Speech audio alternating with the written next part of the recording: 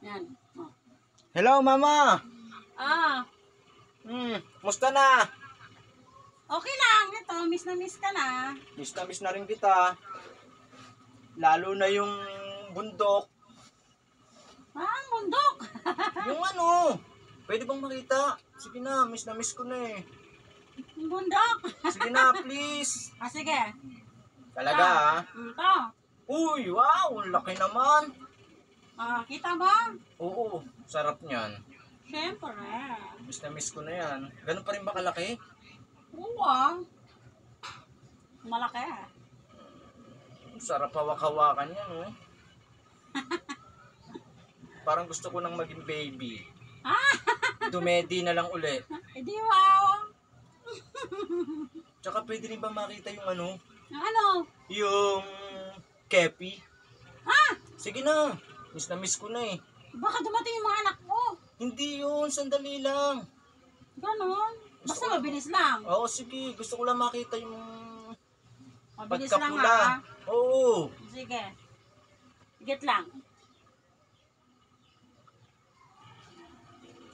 Ka lang.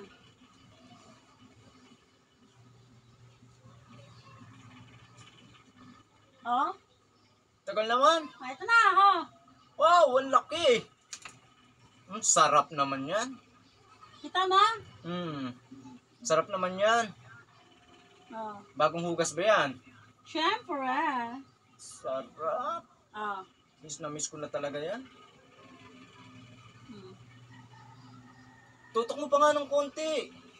Hindi mo pa makakita masyado? Oh, eh, yan. kita ko kaya lang mas gusto ko yung tutok na tutok. Oh, Yan! Kitang kita yung pagkapula. oh. Sarap. Ano?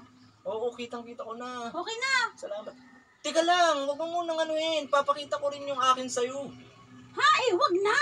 Anong wag na? Bakit? Hindi mo ba namimiss? Hindi ko naman namimiss yan eh. Ang liit-liit naman kasi parang sili eh.